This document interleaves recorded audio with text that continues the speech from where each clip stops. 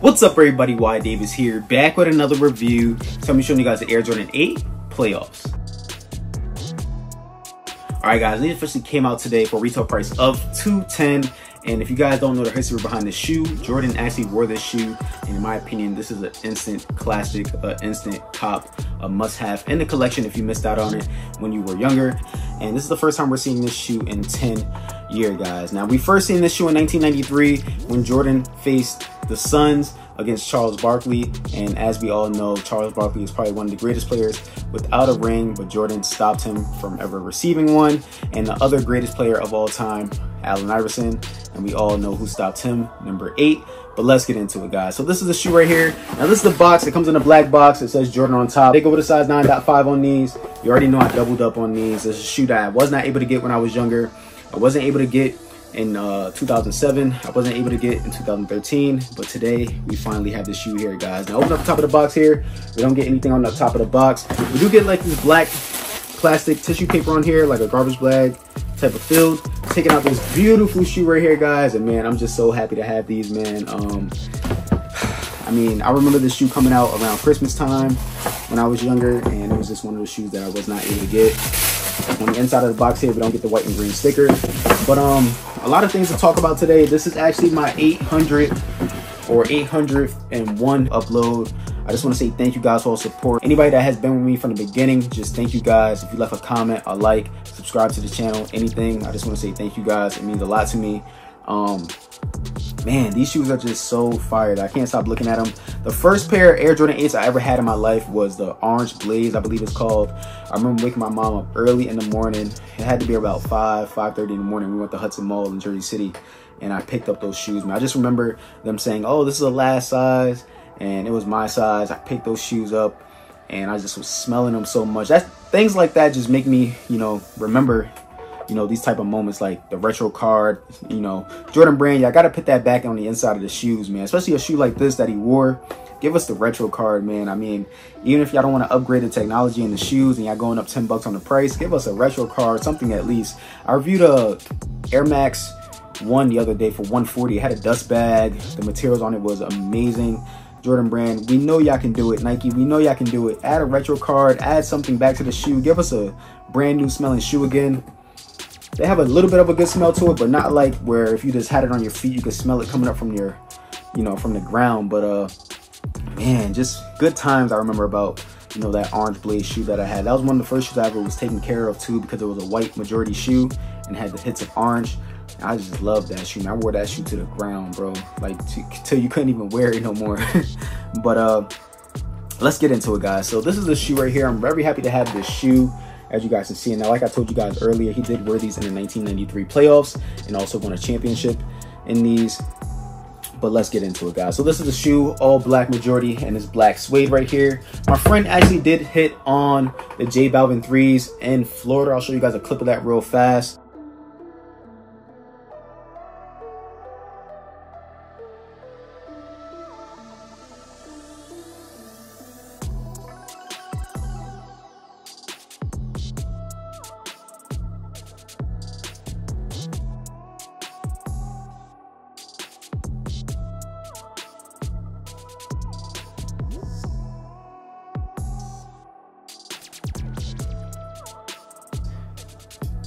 So it was a dope environment, dope scenery that she uh, showed me. She was like, I could post it.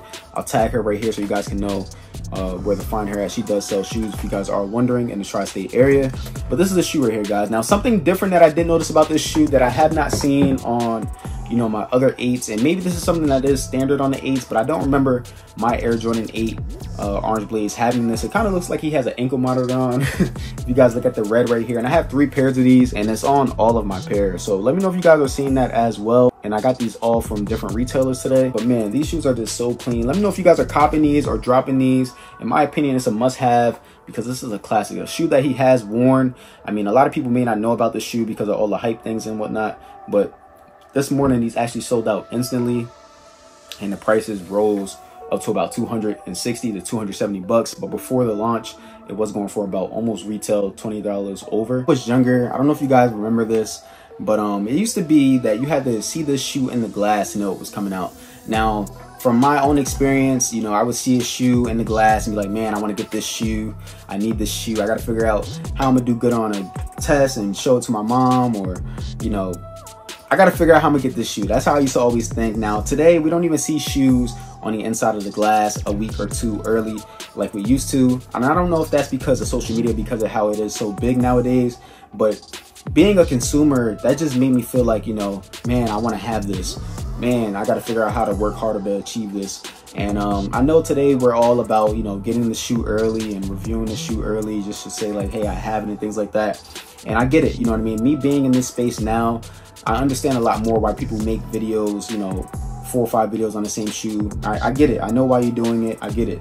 Um, but me as a consumer, you know, it just feels like man, like I want to have that, you know what I mean? And um, I don't know if you guys feel the same way about that, but for me, if it was in my reach, if it was something that I saw, um, it just made me, you know, want to have it more in person and rather than seeing it on the internet, if you know what I mean. So yes, I did get that lust or did get that hype from seeing it, you know, on the BET Award or seeing it when somebody was doing like an interview or something like that. But um, it just felt a little bit more personal when I was able to see it in the glass, it being right there, window shopping, basically how 50 Cent calls it.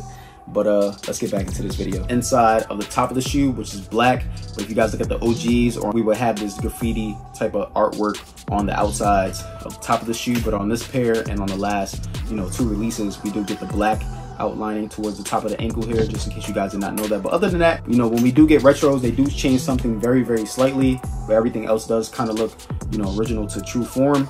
But let's look at the bottom of the shoe here, guys. So on the bottom of the shoe here, it is black, red, and like a bluish type of purple. All right. In the middle there, we get the same thing with a little bit of white. Looking at the midsole here, it is in black and like a metallic black with like some silver paint splatters on it on both the outside and the inside of the shoe. Moving up a little bit higher than that, we do see some white, some black, and some red. Top of the shoe here, we get this nice suede all the way around the shoe. As you guys can see in this black right here. Now, if you guys wear these in rain or, you know, different type of weather conditions that is not sun, they will get messed up and dirty pretty easily. So in my opinion, only wear these when you feel like you are going to be, you know, on a nice sunny day. You don't want to wear these on a day where the weather is bad outside. Same thing on the inside of the shoe here. I do see a little bit of glue stains on the inside of my shoe. These will collect a lot of dust as well. Looking at the toe box here, if you do not go true to size on these, nine times out of 10, you will have a big crease going across the front of your shoe. So if you guys need some wearable shoe trees, you guys can use my code of Y Davis on creasepiece.com to save yourself five bucks. This is definitely one of those shoes that you want to put a crease protector in because these look crazy when they start creasing up. And once you get that crease in them, it's kind of hard to take out. Looking at the bottom of the mud guard here, we get it in black. We see a little bit of that blue slash purple creeping up from the bottom of the shoe. All right, now unfortunately we only do get one pair of laces in these and they come with the black laces. If you guys look at the tongue here, it's like a neoprene tongue. On top of that, we get these black straps with the 23 and like that Bugs Bunny font outlined in red and inside is in white. At the top here, we get like this rubber material. We have the Jumpman there in red. Okay, we also do get this matte black on the clips that hold down the straps of the shoe. If you guys look towards the back on both the outside and the inside, it says Air Jordan. In my opinion, I think this is probably the best, if not in the top three of my favorite Air Jordan 8s ever. It'll probably be this one, Aquas, and then the Orange Blaze because I actually had those shoes. Looking at the back of the shoes here though, we get some more of this black suede on the back of the shoe. All right, now you guys can see the dust that it is picking up already and I never even wore these yet. Inside of the shoe here, we do get some tissue inserts. Okay, once again, we do see this graffiti art on the inside and like red, white, black, and yellow. Okay, only on the tongue and on the insole. Basically only on the booty. Like I said, on the OG pair, it was all on the inside of the shoe. The production dates on this was 11-30-22 to 02-03-23. Give you guys a quick look at that real fast. They actually did give us the Nike Air on the inside and not the Jumpman logo, so I do like that. If you guys do look at this right here. All right, this isn't the Dream Cell insole, but it is the next best thing. This is the white on the background. Just as comfortable as the Dream Cell insoles, in my opinion. I'm not sure if they just don't put the name on this to say Dream Cell, but it does kind of feel the same, if you know what I mean. Underneath the actual insole, it is some cardboard in there. You can see some glue stains. Um, coming towards the back, we do get this red pull tab. And that's pretty much gonna do it for this shoe, guys, all right? Now I'm gonna show you guys my foot is in the toe box right now. Okay, guys, so this is what they look like on feet. Pretty clean, in my opinion.